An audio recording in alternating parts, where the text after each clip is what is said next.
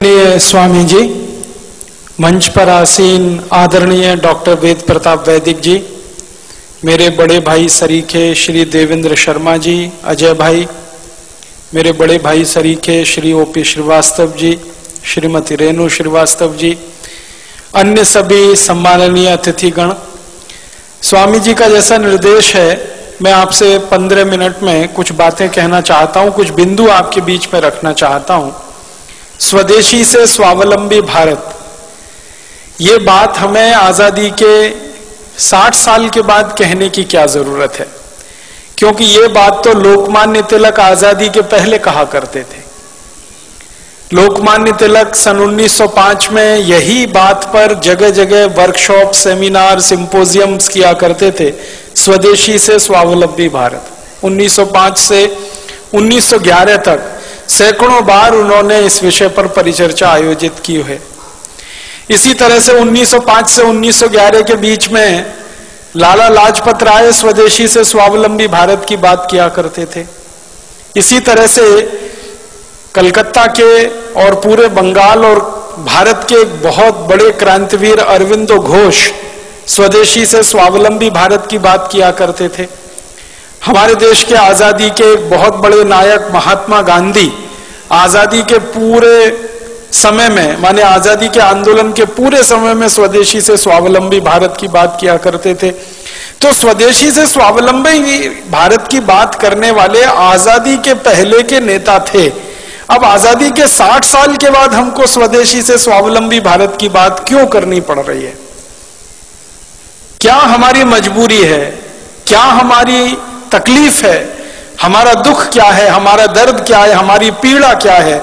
क्यों हमें यही बात कहनी पड़ रही है जो कभी गांधी जी को कहनी पड़ी, लाला लाजपत राय को कहनी पड़ी, विपिन चंद्र पाल को कहनी पड़ी, लोकमान्य तिलक को कहनी पड़ी, वही बात आज क्यों कहनी पड़ रही है? अब तो आज़ादी आ गई है, अब तो अंग्रेज़ चले गए हैं, अब तो ईस्ट इंडिया कंपनी भी नहीं है इस देश में, तब तो हम अंग्रेज़ों के गुलाम थे, ईस्ट इंडिया कंपनी के गुलाम थे इसलिए हम स्वदेशी की बात करते थे। अब आज़ादी के 60 साल के बाद फिर स्वदेशी की बात क्यों करनी पड़ रही है? ये गंभीर प्रश्न है और वो प्रश्न मैं आपके सामने खोलना चाहता हूँ। बात ऐसी है कि हमारे देश में 15 अगस्त उन्नीस को सत्ता हस्तांतरित तो हो गई, आज़ादी नहीं आई। स्वतंत्रता नहीं आई इस देश में। 15 अगस्त उन्नीस को गोरे अंग्रेज़ों से काले अंग्रेज़ों को सत्ता का हस्तांतरण हो गया। स्वतंत्रता नहीं आई, आज़ादी नहीं आई। क्योंकि स्वतंत्रता का मतलब है अपने तंत्र में जीना। आज़ादी का मतलब है अपनी व्यवस्थाओं में जीना। स्वदेश माने अपने देश की व्यवस्थाओं में जीना, अपने तंत्र की व्यवस्थाओं में जीना। तब हम स्वतंत्रता की बात कर सकते हैं। लेकिन आज़ादी के 60 साल के बाद तो एक भी तंत्र ऐसा बना नहीं इस देश में जो अपना हो।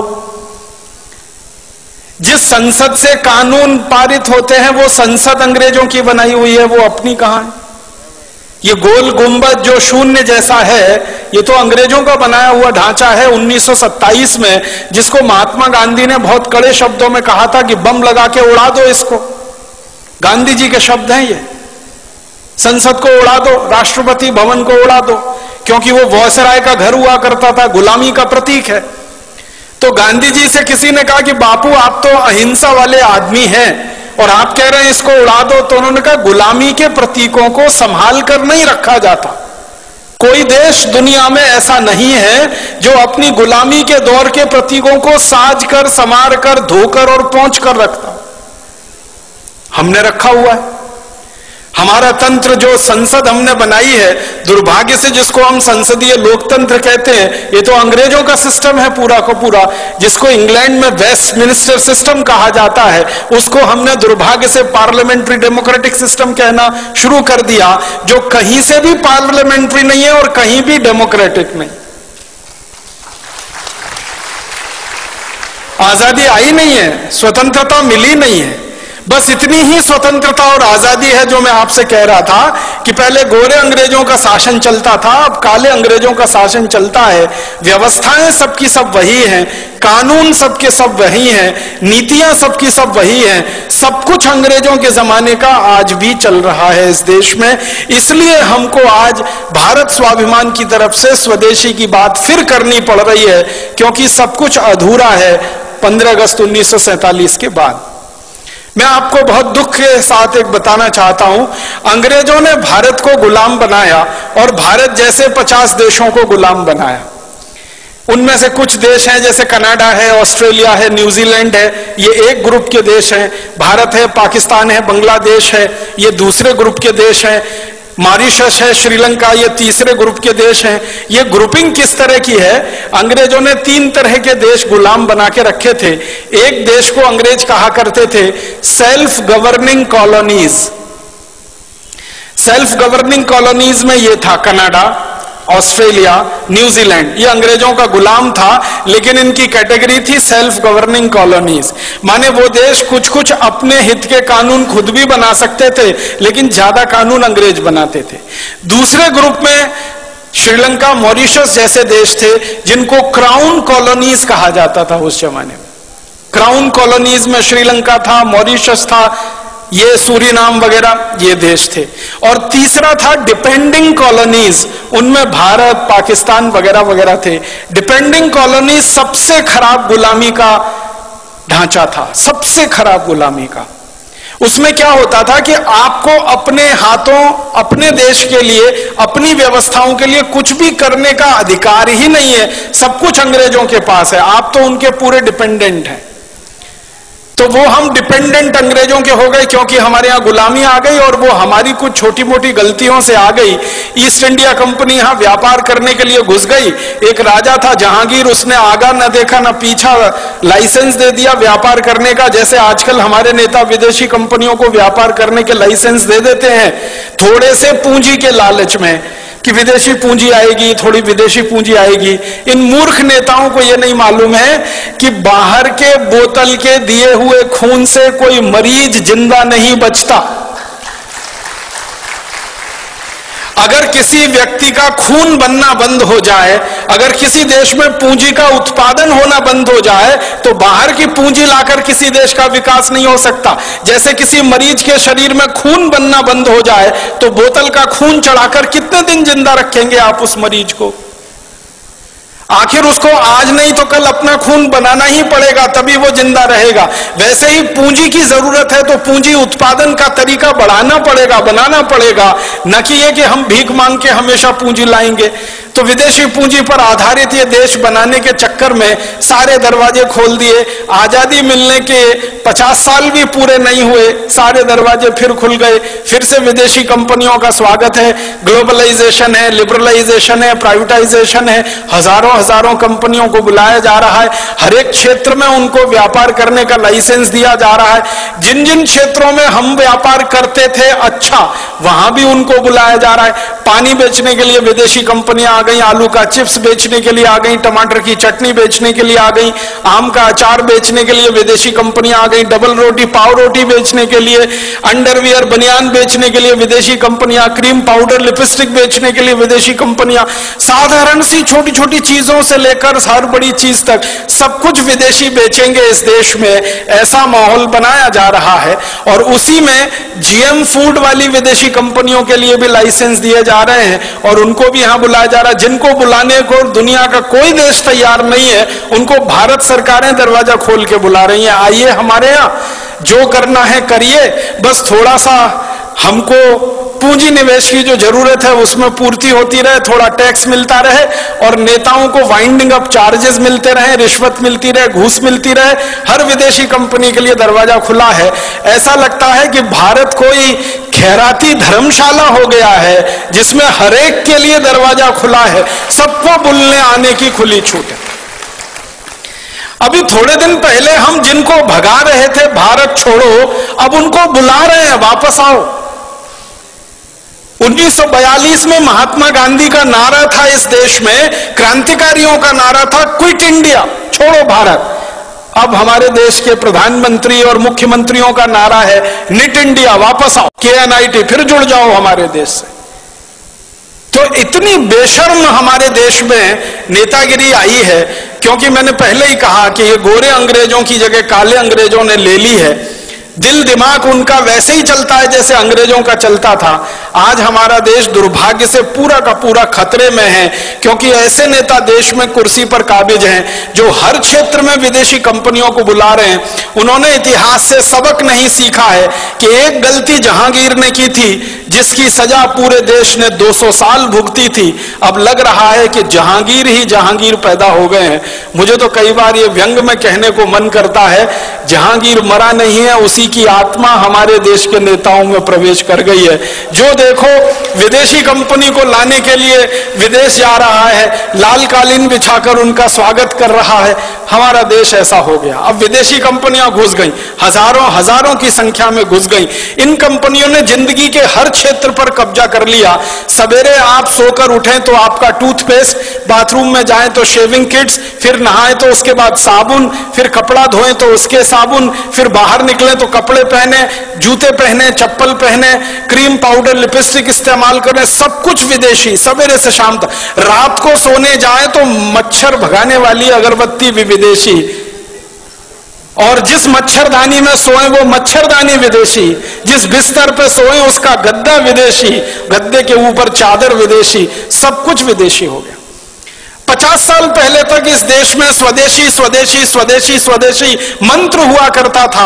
आज इस देश के नेताओं ने विदेशी विदेशी विदेशी सब बना दिया।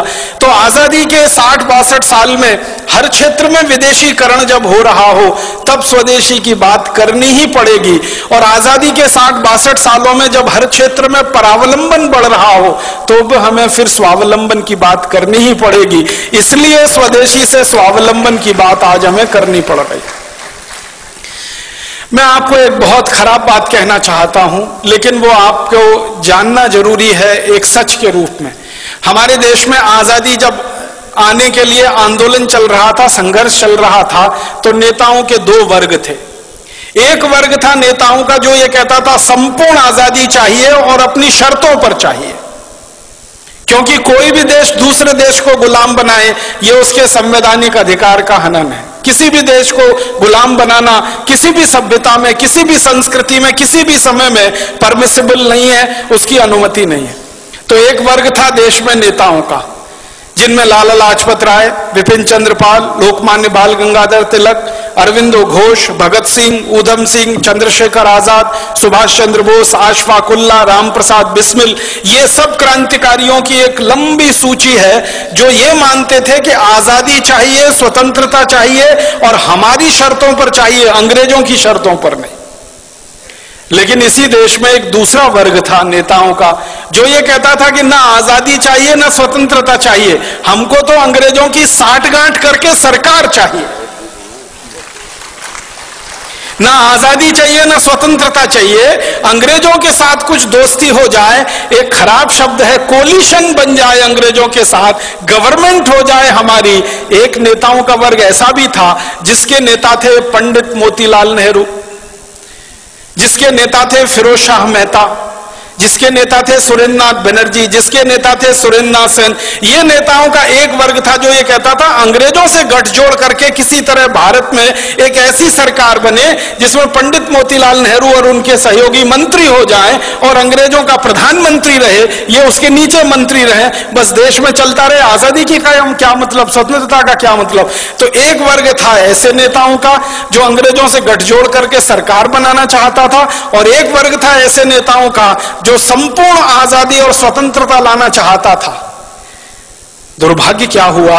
जब यह देश आज़ाद हुआ तो जिस नेता के हाथ में यह कमान गई, या जिन नेताओं के समूहों के हाथ में देश की आज़ादी की कमान गई, वो वही थे जो अंग्रेज़ों के साथ मिलकर किसी तरह देश में सत्ता और गठजोड़ करना चाहते थे। तो मानसिकता अंग्रेजियत वाली थी। तो आज़ादी मिलते ही उन्होंने देश में वो कुछ भी नहीं किया। जो होना चाहिए था आज़ादी के तुरंत बाद। हमारी भाषा विदेशी हो गई क्योंकि हम गुलाम थे। आज़ादी आई तो भाषा स्वदेशी होनी चाहिए, वो नहीं हो पाई। हमारी भूषा विदेशी हो गई थी, जो आज़ादी के पहले थी, हमारी भूषा स्वदेशी होनी चाहिए थी, वो नहीं हो पाई। हमारा भोजन विदेशी हो गया था अंग्रेज़ों के समय में अंग्रेज़ों के बाद हमारा भोजन स्वदेशी होना चाहिए था, वो नहीं हो पाया। हमारा भजन विदेशी हो गया था अंग्रेज़ों के जमाने में। वो भजन स्वदेशी होना चाहिए था, वो भी नहीं हो पाया। ना भाषा बदली, ना भूषा बदली, ना भोजन बदला, ना भजन बदला। और तो और, भेषज हमारी, औषधि जो पूरी स्वदेशी होनी चाहिए थी आयुर्वेद आधारित, वो पूरी की पूरी अंग्रेजियत आधारित एलोपैथी में चला गया। माने आज़ादी के बाद बदला कुछ नहीं, ना भाषा, ना भोजन, ना भूषा, ना भेषज, ना भजन, कुछ नहीं बदला। बदला क्या? एक ही चीज़ बदली, माउंट बेटन की जगह पंडित जवाहरलाल नेहरू, माउंट बेटन की जगह उनके मंत्रिमंडल के एक्स वाई जेड और कुछ नहीं बदला इस देश में, सबका सब वैसे का वैसा ही रहा। हमारे देश में संविधान सभा बनाई गई। संविधान सभा में बार बार बहस हुई भाषा के सवाल पर, लेकिन उस मामले को पीछे अटका, लटकाया गया। बार बार बहस हुई कि अंग्रेज़ों का कोई प्रतीक हमें नहीं रखना है इस देश में, उसको ऐसे ही लटका के छोड़ दिया गया। सारी की सारी संविधान सभा की बहस बेकार हो गई। जब 1935 के गवर्नमेंट ऑफ़ इंडिया एक्ट को भारत का संविधान बना दिया हमारे देश के लोगों ने। बहुत दुख और अफसोस होता है। गवर्नमेंट ऑफ़ इंडिया एक्ट अंग्रेज़ों ने बनाया था। भारत को एक हज़ार साल गुलाम बनाकर भारत पर शासन करने के लिए वो हमारे देश का संविधान बन गया। गवर्नमेंट ऑफ़ इंडिया एक्ट का कॉमा फुल स्टॉप और भारत के संविधान का कॉमा फुल स्टॉप आप मिला लीजिए, कोई अंतर नहीं है उसमें। और जब ये बात उठी तो ये कहा गया, भाई, जल्दी है जल्दी है जल्दी है, इतनी जल्दी में भारत का नया संविधान नहीं बन सकता। तो थोड़ा गवर्नमेंट ऑफ़ इंडिया एक्ट ले लिया, फिर अमेरिका के संविधान से, कनाडा के संविधान से, ब्रिटेन के संविधान से, यहाँ से, वहाँ से, वो कटिंग पेस्टिंग होती है ना, जैसे पीएचडी किए जाते हैं ना हमारे देश में। दस किताबें इकट्ठी कर ली, फिर उसमें से ग्यारह छप गई। वैसे ही दुनिया भर की दस किताबें इकट्ठी हो गई ग्यारह हमारी बन गई। भारत का संविधान, जिसका सबसे बड़ा झूठ है वो वाक्य, जिसमें कहा गया है, हम भारत के लोग इस संविधान को आत्मार्पित करते। कब किया था? कोई बता दे मुझे, भारत के लोगों ने उसको आत्मार्पित। संविधान सभा के कुछ नेताओं ने उसको आत्मार्पित कर लिया तो वो भारत के लोगों ने आत्मार्पित कर लिया, ये कैसे कह सकते हैं? कभी रेफरेंडम करा के देख ले इस देश में। कब किया था हमने आत्मार्पित उस संविधान? कानून अंग्रेज़ों ने बनाए चौंतीस हज़ार सात सौ पैंतीस हिंदुस्तान को गुलाम बनाने के लिए। सारे के सारे कानून बिना कोमा फुल स्टॉप के आज भी चल रहे हैं। इंडियन पुलिस एक्ट अंग्रेज़ों का बनाया हुआ। इंडियन सिविल सर्विसेज़ एक्ट अंग्रेज़ों का बनाया हुआ। इंडियन पीनल कोड अंग्रेज़ों का बनाया हुआ। क्रिमिनल प्रोसीजर कोड अंग्रेज़ों का बनाया हुआ। सिविल प्रोसीजर कोड अंग्रेज़ों का बनाया हुआ। और तो और इंडियन एविडेंस एक्ट अंग्रेज़ों का बनाया हुआ। इंडियन सिटीजनशिप एक्ट हम भारत के नागरिक हैं, नहीं है, ये भी अंग्रेज़ तय करके गए हैं। उस कानून के आधार पर हम भारत की नागरिकता पाते हैं या नागरिक हो पाते हैं। कानून वैसे ही है, भाषा वैसी है शिक्षा पूरी की पूरी जो अंग्रेज़ छोड़कर गए थे, वही की वही है। स्वास्थ्य व्यवस्था, चिकित्सा व्यवस्था जो अंग्रेज़ छोड़कर गए थे, वही की वही है। हमारे देश की एक भी व्यवस्था नहीं बदली है, सिवाय एक नाम बदलने के, कि जहाँ पहले माउंट बेटन का नाम होता था, करजन का नाम होता था, लिलित गो का नाम होता था, वॉरेन एस्टिंग्स का नाम था, क्लाइव का नाम था, वहाँ पर अब हमारे हिंदुस्तान के कुछ देशी नाम आ गए, व्यवस्था सब की सब वही है। और तो और मैं आपको एक शर्म की बात बता रहा हूँ, आज़ादी मिलने के 50 साल बाद तक हिंदुस्तान की संसद में बजट शाम को पेश होता था, शाम को पाँच बजे। आज़ादी मिलने के 50 साल बाद तक क्यों? जब हमारी संसद में शाम के पाँच बजते हैं तो लंदन की संसद में सवेरे के साढ़े ग्यारह बजते हैं। ब्रिटिश संसद में सवेरे साढ़े ग्यारह बजे किसी को सुनना हो बजट तो अंग्रेज़ सुन सके। इसके लिए आज़ादी मिलने के पचास साल बाद तक, सन उन्नीस सौ सत्तानवे तक, बजट शाम को पाँच बजे आता रहा। इतनी गुलामी में यह देश रहा है, इतनी गुलामी। अंग्रेज़ों ने बंदे मातरम को बैन कर दिया था हमारे देश में। आज़ादी मिलने के 50 साल बाद तक हमारे देश की संसद में बंदे मातरम नहीं गाया जा सका। ये शर्म की बातें हैं हम सबके लिए। तो इसलिए हमारा मानना है, कम से कम मेरा तो मानना है, आज़ादी आई नहीं है, स्वतंत्र, कम से कम मेरा तो मानना है, आज़ादी आई नहीं है, स्वतंत्रता मिली नहीं है, सत्ता का हस्तांतरण हो गया, गोरे अंग्रेज़ चले गए, काले अंग्रेज़ आ गए, देश वैसे ही चल रहा है, व्यवस्था वैसे ही चल रही है, इसलिए न किसानों की हालत सुधरती है, न मजदूरों की हालत सुधरती है, न गरीबों की हालत सुधरती है, न मजलूमों की हालत सुधरती है, क्योंकि ये व्यवस्था जो आज चल रही है, ये तो अंग्रेज़ों ने बनाई थी लूट के लिए, खसोट के लिए, बर्बादी के लिए। आज़ादी मिलने के बाद अगर व्यवस्था वही चलेगी और आप ये कहो लूट ना हो, तब तो ये होने वाला नहीं है। लूट तो इस व्यवस्था का मुख्य आधार है। पहले अंग्रेज़ लूटते थे, अब हमारे ही काले अंग्रेज़ लूटते हैं इस देश को। पहले अंग्रेज़ लूटते थे इस देश को और लाखों करोड़ों रुपया लंदन लेके जाते थे। एक अंग्रेज़ का जानकारी देके मैं खत्म कर रहा हूँ। रॉबर्ट क्लाइव नाम का एक अंग्रेज़ था। हिंदुस्तान आया, बंगाल का राजा बन गया, गवर्नर हो गया, लूटना शुरू किया उसने कलकत्ता नाम के शहर को। सात आठ साल लूटा। लूटने के बाद सारा माल लेके लंदन गया। ब्रिटिश पार्लियामेंट में उसकी शिकायत हो गई कई लोगों ने उसकी शिकायत की कि इसने बहुत अत्याचार किए हैं, भारत में और लूट मचाई है तो उसके खिलाफ मुकदमा चला।